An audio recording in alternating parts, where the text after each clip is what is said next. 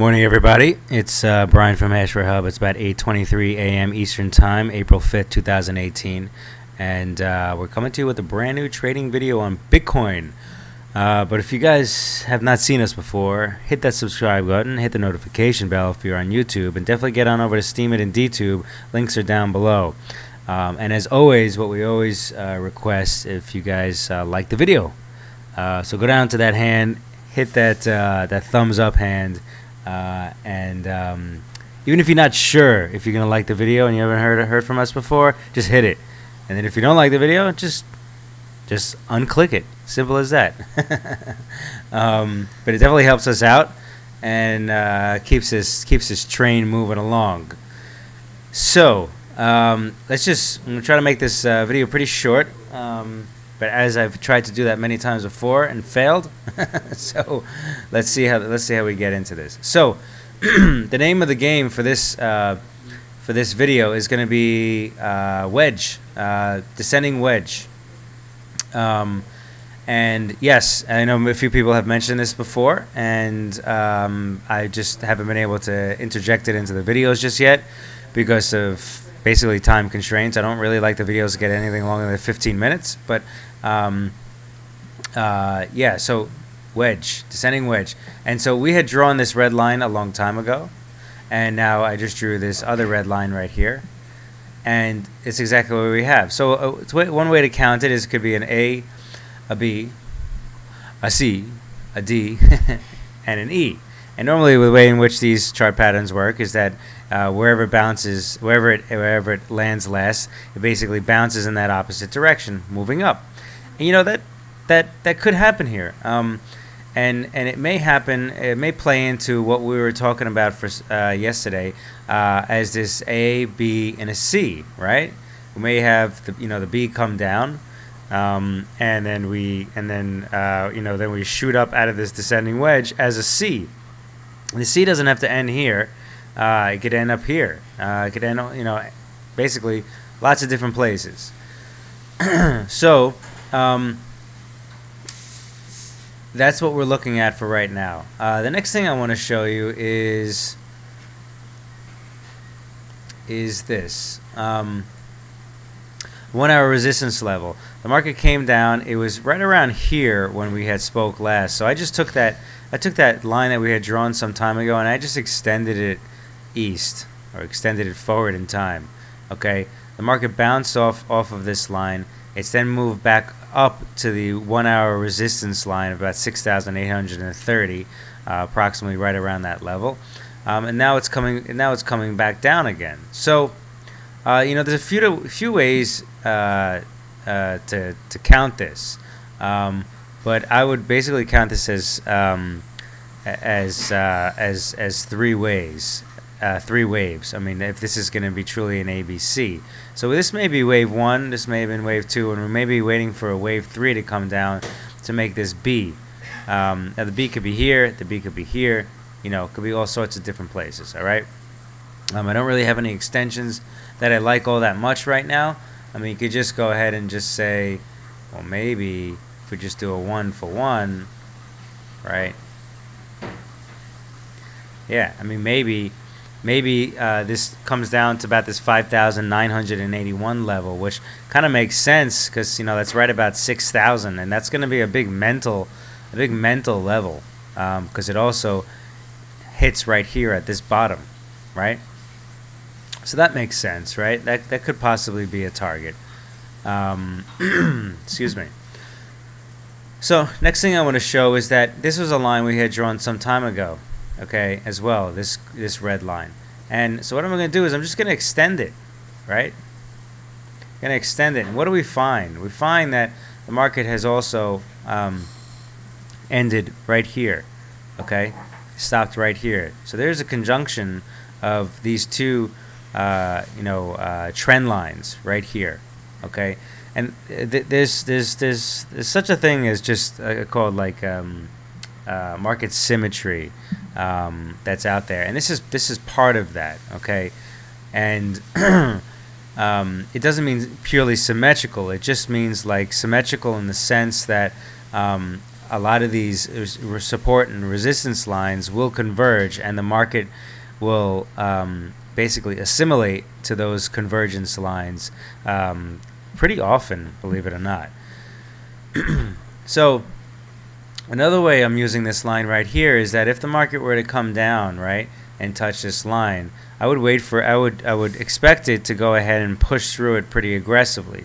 Um, and I would I would I would watch for it. And so this is kind of almost like a litmus test for me, you know, um, in, in order for me to kind of measure the, the, the market. If the market just stops right here on top of here, well then wait a second. This adds a lot of strength to this line. Maybe this line should be something that should be propelled in the future, pu- push forward in the future, um, where it could have some meaning in the future. Okay, so this is kind of like a fact-finding mission. Um, and I, I do I do a fair amount of that. Um, that's why I do have a fair amount of lines going on, and I, I put them in the context of, um, you know, basically usability. Um, you know, what's happened before in the past on this line, and um, where are we approximating on it uh, at this current time with regards to price. So. Another thing I want to mention here is that yes, we do have this bottom support line right here. We have the top of the wedge right here, and if the market then starts to go ahead, starts bouncing in between here, right? I mean, this is a right triangle. It's a bearish one, right?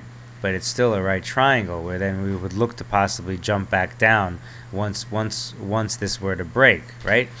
Um, so that's that's another thing uh, another thing to look at there. Um, so I can go ahead and I'll extend this out even further. so um, Another thing too is uh, we have the 200 moving average coming down. We have the 55 EMA coming down, and they're basically kind of uh, both going parallel. While we also have the top of this wedge, and we also have the top of the green. So we have a lot of resistance here, even more so than what we were talking about before. Okay, a lot of resistance here. In conjunction is if we had take this red line here, right? Remember this red line, guys? And I extend this out. Right? I want to continue to extend, extend this out until we're, we're beyond it, right? So, even if we were to go ahead and break up, um, chances are we're going to run into this red line again. And just as how, how I really didn't expect this to happen right here, I don't really have expect this to happen either. In other words, for us to shoot up above it. So maybe you know maybe the C is like here and this is going to go ahead and this is going to show us, you know, a bit of the sentiment in the market. Um, because if, if we're able to pierce through here, right, well, depending on where we are with respect to time, well, this also, this top trend line here can also come into play. So I'm, I'm just trying to lay out kind of like a framework uh, for the future on where things possibly could be, you know, on the bullish side. On the bearish side, um, it's not uh, you know a lot of this also comes into uh, play but also the fact that the bear side like i mentioned this line right here are we going to just stop at it or we, are we gonna just going to push right through it my belief says we're going to push right through it right because i believe this is an a a b and a c uh, also i don't think we're really going to run up so we only have two choices if we don't go up we either go sideways or we go down there's just so long we can go sideways right before we basically run out of room and like I always say, you don't slip out the back door with these things really often at all, um, very infrequently. So, meaning slip out the back door, meaning kind of just go sideways through these types of things. All right. So, another thing is, um, yeah, somebody just said slip out the back, Jack. Um, another another old school uh, uh, song in conjunction to the uh, the one I was mentioning yesterday. Anyway, so um, another thing too is that we have this RSI line. Remember this RSI line I drew ages ago? Market came down, tested it, bounced above it, pierced right through it, came to oversold territory, came back up, bounced right off of it, came back down. Right? I mean, this this line is still in effect. Um, this this 50 line, and it is a lot of times in, in a lot of different markets. So it's not some magical line, um, but it is magical when it when the market is is um, adhering to it. Um, next, Laguerre RSI. So Laguerre RSI has crossed over Um, have we crossed over yet? Definitively.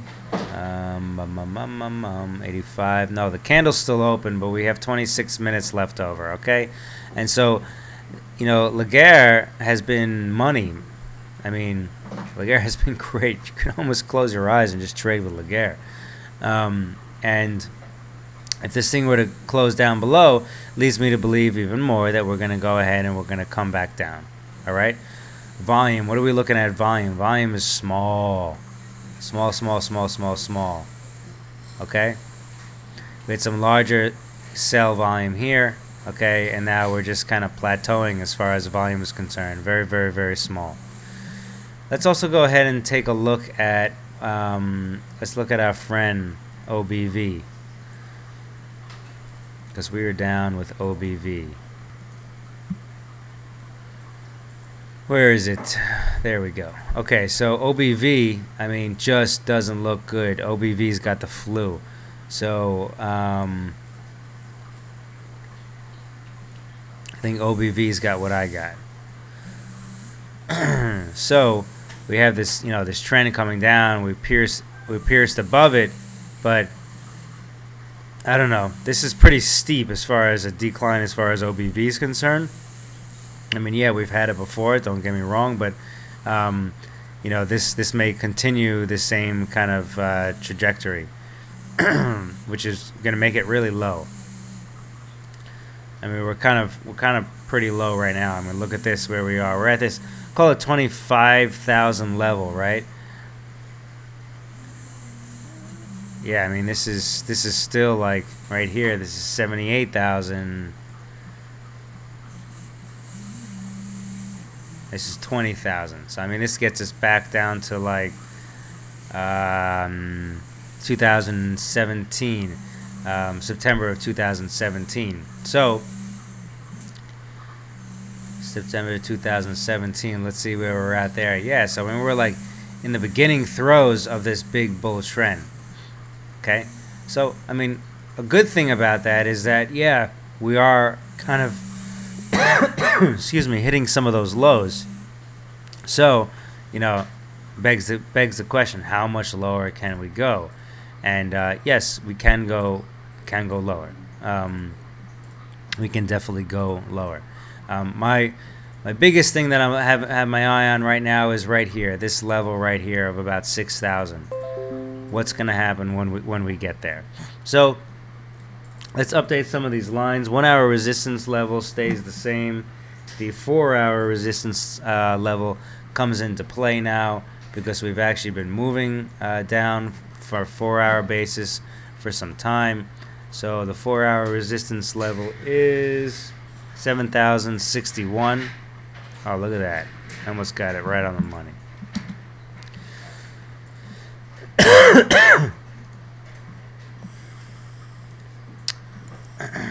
Excuse me.